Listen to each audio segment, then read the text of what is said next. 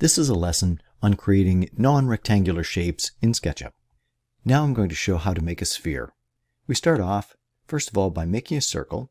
So we select underneath the rectangle tool. You see that you've got the circle tool. So we select circle and we click and drag. In this case, we don't really care what size the circle is. The first circle we do will make it larger than the circle, larger than the sphere that we want it to be. So we'll make a large circle there going to select the orbit tool and I'm going to just change the orientation a little bit. And I'm going to select the circle tool again. And this time I'm going to draw the circle and I, this time I want it so that it's in an axis that's, or in a plane that's perpendicular to the first circle that I drew.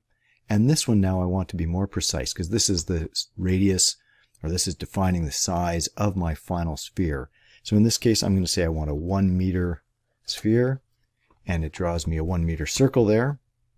Now, this is a little bit tricky. We select the select tool and select the first large circle.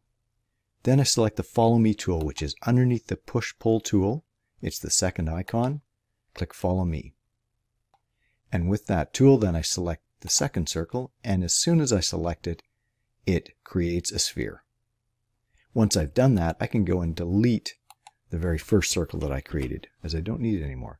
And now I've got a sphere that I can move around. So if I choose the Move tool, so that's how you create a sphere.